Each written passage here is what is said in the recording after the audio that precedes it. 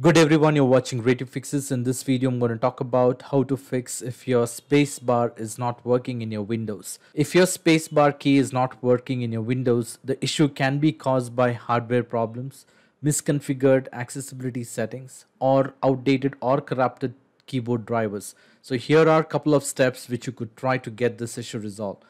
Now the first method to resolve this issue is to clean the keyboard Dust or debris under the spacebar is a common cause. Use compressed air or gently lift the keycap if possible to clean the underneath. So once the debris or the dust particles are cleaned, you can check if your spacebar is working and if it works well and good, you don't need to try the next step. Now the next method is to check the accessibility settings. To do this, you will have to go to the settings by doing a right click on the start button and then clicking on settings. Once you're on these settings, you may go ahead and click on accessibility. Once you're on the accessibility, you will have to locate for keyboard. Click on the keyboard and ensure the sticky keys, filter keys and toggle keys are turned off all these option needs to be turned off. In case if they are enabled you will have to turn this off by using this toggle button. Make sure all these options are turned off. Now these features can interfere with the normal key input especially filter keys and sticky keys.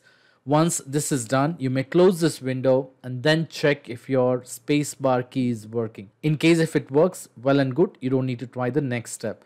Now the next method is to test with an external keyboard. Connect an external USB or a Bluetooth keyboard and if the check if the spacebar works. In case if the spacebar works on an external keyboard, your laptop or an internal keyboard may have an hardware issue. So you might want to replace it. Now, in case, in spite of all this step, and if you're still facing a problem, the next step is to go and restart your computer perform a full shutdown or a restart, not just sleep or hibernation, as some issues are temporary and may resolve after the reboot.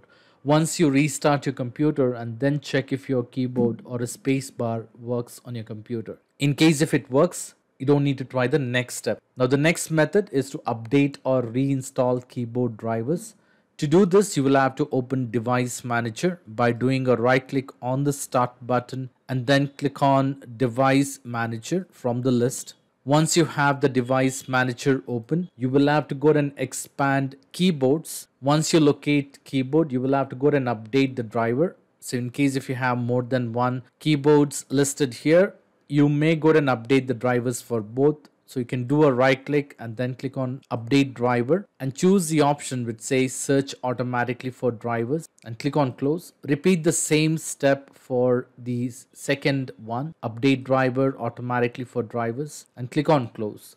Once this is done, you may go and restart your computer and then check if your spacebar is working. In case if the spacebar is working well and good, you don't need to try the next method. Now the next method is to go and run the keyboard troubleshooter. To do this, you will have to do a right click on the start button and then click on run. And in the run window, you will have to go and type this command. I will also mention this command in the video description. You can copy and paste the command from the video description. Once you have this command, you may click on OK. This will go and run the hardware and device troubleshooter. Click on advanced and make sure apply repairs automatically is being checked. Once this is done, follow the step-by-step -step instructions on the screen. What this will do is this will try to detect the problem by itself and in case if there are any issues related to the computer or to the any files to your external keyboard or external device, it will try to fix by itself. Once this is done, you may close this window restart your computer and then check if your issue has been resolved. In case if your issue has been resolved, well and good, you don't need to try the next method. Now the next method is to go and restart human interface device services. To do this, you will have to do a right click on the start button and then click on run. And in the run window, you will have to go and type services.msc and then click on OK. And that should open the services window. Under this list, you will have to locate for human interface device service. It would be in alphabetical order. Once you have located this, you will have to do a right click and then click on restart. Once this is done, you may close this window and then check if your space keyboard is working. In case if it works, well and good, you don't need to try the next method. Now, in spite of trying all this step, and if you're still facing a problem, the next method you could try is to go and check for the Windows update. You can do a right click on the start button and then click on settings. Once you're on these settings, you may go and click on Windows update and then click on check for the updates and see if there are any updates to be installed on your computer. In case if there are any possible updates to be installed on the computer, install those updates close this window, restart your computer, and then check if your issue has been resolved. Now, all these steps should definitely fix the problem. In spite of trying all this step, and if you're still facing a problem, I would suggest you to leave me a comment in the comment section so that I can come up with the possible solution.